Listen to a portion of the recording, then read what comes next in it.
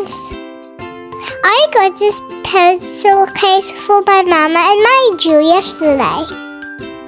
And is pencil case. And it's from Frozen, my favorite. I'm gonna show you what's in here.